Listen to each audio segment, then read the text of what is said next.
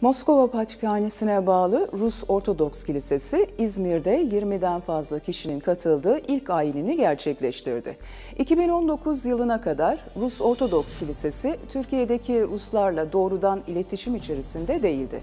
Ancak Rusya ve Ukrayna arasında yaşanan sorunlardan sonra Türk makamların izniyle Rus Ortodoks Kilisesi doğrudan bu görevi yürütmeye başladı.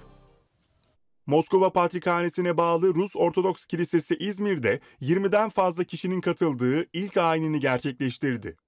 Her ay yapılması planlanan ayinlerin Eylül ayından itibaren başlanacağı belirtilirken, İstanbul, Antalya, Alanya, Ankara ve İzmir'de yaşayan inananların oluşturduğu grupların bu ayinlere katılımı bekleniyor.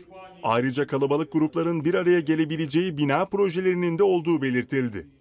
Sadece Ruslar değil, yerel halkta hizmetlere katılma konusundaki ilgilerini dile getiriyor.